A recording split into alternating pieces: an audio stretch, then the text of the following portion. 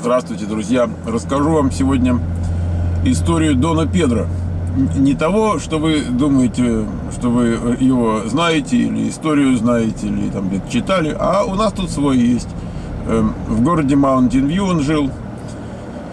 Жил, потому что уже э, нет его больше на свете, но был это мужчина лет 45, когда мы с ним познакомились. Он приходил в школу, Жил он там прямо вот э, где-то в переулочке возле школы. Мы тогда были немножко в другом месте, чем сейчас.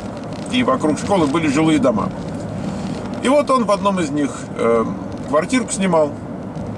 И приходил, э, брал наших приезжих студентов, они у него там, значит, проживали. То есть, как бы помогали ему, можно сказать, платить там рент.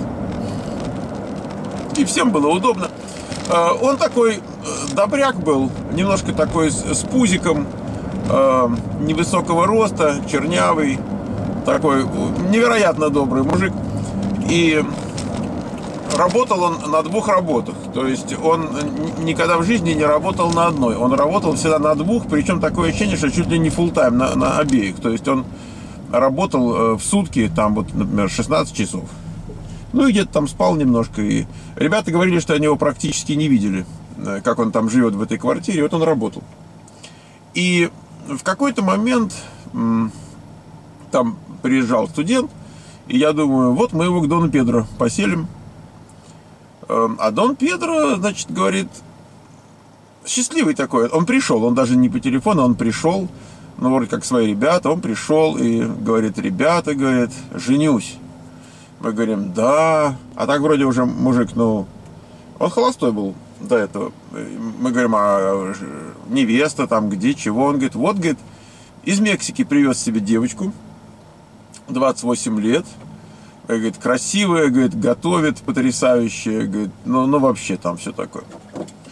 Ну и, собственно, и все. А время идет, мы о нем уже так, в общем, в практическом плане позабылись, мы понимаем, что он Э, там не берет больше ребят там для проживания. И проходит еще какое-то время, и я пересекся с женщиной мексиканской, которая э, руководила, ну, менеджер того апартмент-комплекса, где он жил.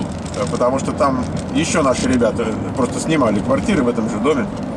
И иногда там мы с ней...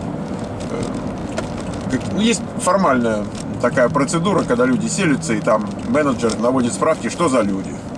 Вот, допустим, работают они у тебя, или там они у тебя учатся, то есть надо как-то подтвердить, э, что они делом заняты. Ну и вот э, в какой-то раз мы с ней беседуем, и она говорит, э, а ты помнишь Дон Педро-то? Я говорю, а как, как же Дона Педро не помнить? Вот. А у меня еще, знаете, само вот это словосочетание Дон Педро, оно ассоциируется с э, кинофильмом «Здрасте, я ваша тетя», если кто смотрел. Вот, и там тоже так, э, Дон Педро из Бразилии, где много диких обезьян. Вот это вот сочетание такое. Ну и я говорю, конечно, Дон Педро, помним, что там. Она говорит, вот нету больше Дон Педро, повесился, говорит. Я говорю, как повесился? А, а, а, а чего ему вешаться? А вот, говорит, эм, так он все продолжал работать там в две смены. Вот, а жонка его э, загуляла э, и отвалила. Вот, так что и он вот на этой почве э, повесился. Очень добрый такой вот был человек, легко ранимый, можно сказать, получается так. И вот такая вот, можно, можно было бы сказать, американская трагедия, но вот с таким немножко, может быть, мексиканским налетом по, по этой истории. Вот такой случай. Счастливо!